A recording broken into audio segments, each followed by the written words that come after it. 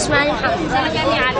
أولى إعدادي أزهر أنا جاي النهاردة عشان أرفض إن مصر تكون عزبة لحد أو ملك أي حد وعشان أرفض إن الدستور يسيطر عليه من جماعة وفلسطين مهما كان. إحنا ما خرجناش من دولة عسكرية عشان نخرج عشان نخرج لفاشية دينية.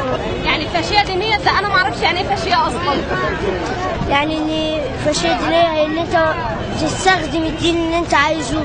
وتتشدد في الدين وتعمل حاجات باسم الدين والدين ما بيتقش كل دوت مين مين علمك الكلام ده في الأزهر ولا أنت لا أنا أنا عارفه منين؟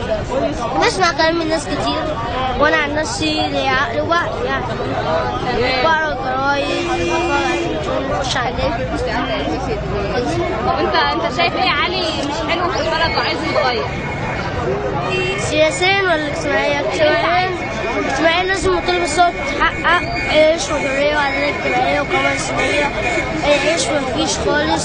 الحرية لسه الشرطة بتسحل الناس في السجون العدالة الاجتماعية إزاي يبقى مذيع بياخد 30 مليون جنيه وفي ناس بتاكل بالزبالة سياسيا فين الدستور اللي بيعبر عننا. الدستور اللي يبقى فيه نساء نص المجتمع أصلا.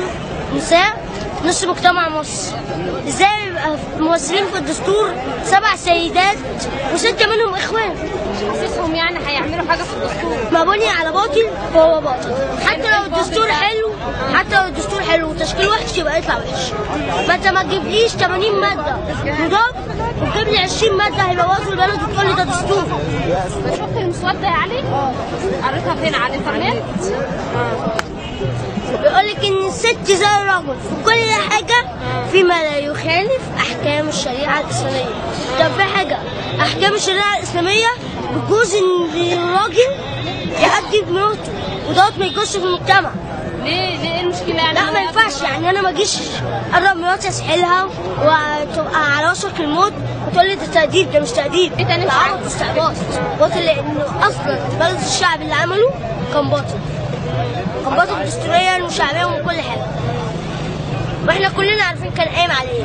كان قايم على استخدام الدين في السياسة ودعاة المساجد كانوا بيرشدوا تيار معين. وكان قايم على الزيت والسكر. وكان قايم على حاجات كتير.